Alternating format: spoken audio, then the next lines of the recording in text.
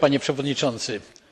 podejmujemy dzisiaj tę dyskusję poruszeni groźbą wykonania wyroku śmierci na czwórce młodych bo mających poniżej osiemnastu lat ludzi. nie jest to pierwsza tego rodzaju decyzja irańskiego wymiaru sprawiedliwości. iran znajduje się w na szczęście nielicznym gronie krajów które wydają wyroki śmierci dla młodocianych i co gorsza wyroki te wykonują.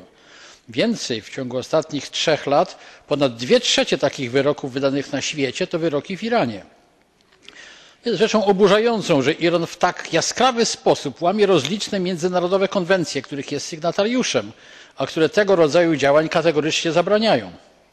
pojawia się więc pytanie znacznie bardziej ogólnej natury czy społeczność międzynarodowa ma jakieś mechanizmy i instrumenty działania wobec takich krajów?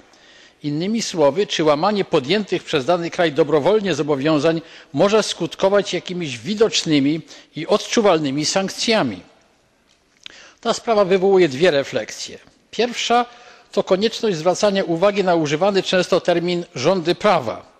skazywanie także młodocianych za zachowania homoseksualne może być zgodne z prawem obowiązującym w iranie.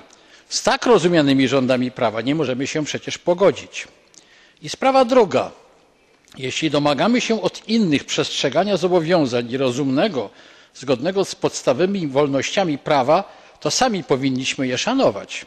w tym kontekście nie sposób nie przywołać naszej opieszałości żeby nie użyć mocniejszych słów jeśli chodzi o wypełnienie ostatecznego werdyktu sądu i usunięcie irańskich mudżahedinów z listy organizacji terrorystycznych. dziękuję.